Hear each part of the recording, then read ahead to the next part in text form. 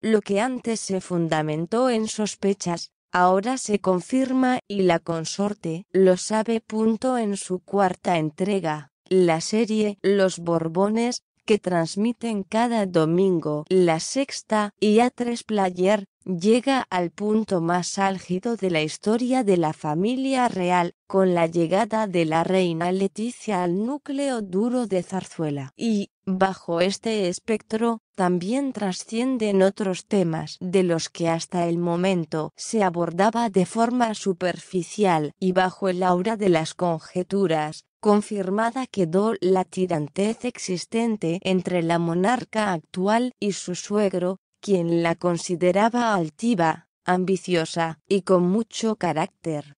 La cara del emérito durante toda la ceremonia nupcial en la Catedral de la Almudena denotaba su espanto al ver al futuro rey de España desposar a una mujer que representaba la total antítesis de todo lo que representa para él una consorte perfecta pero la narrativa de la docuserie trasciende lo conocido y aborda una de las grandes interrogantes que rodean a la reina Leticia. ¿Ha sido una mujer empoderada o insegura? ¿Han habido o no procedimientos estéticos más allá de su innegable rinoplastia? Se habla de rinoplastia, bichectomía, blefaroplastia, botox, ácido hialurónico, entre otros, además de haber estado en el foco de las críticas por su delgadez, algo que llevó a la Casa Real a tener que desmentir a golpe de comunicado.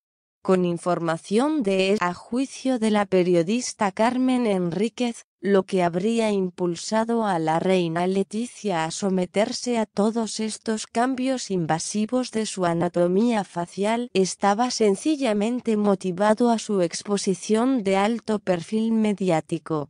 Consciente de que su imagen era analizada a detalle, sintió la necesidad de perfeccionar su rostro y ejercitarse, a fin de sentirse conforme con su apariencia frente a las cámaras. Pero, a juicio de quienes la conocen en las distancias cortas, ¿cuál ha sido el rasgo más característico que ha perdido la reina Leticia con el paso de los años? A juicio de Sagrario Ruiz de Apodaca amiga de la soberana, su naturalidad quedó atrás desde aquellos días cuando el déjame terminar que lanzó a su entonces prometido acaparó titulares. Sin embargo, poco a poco, esa Leticia espontánea y fresca comienza a resurgir después de tantos años.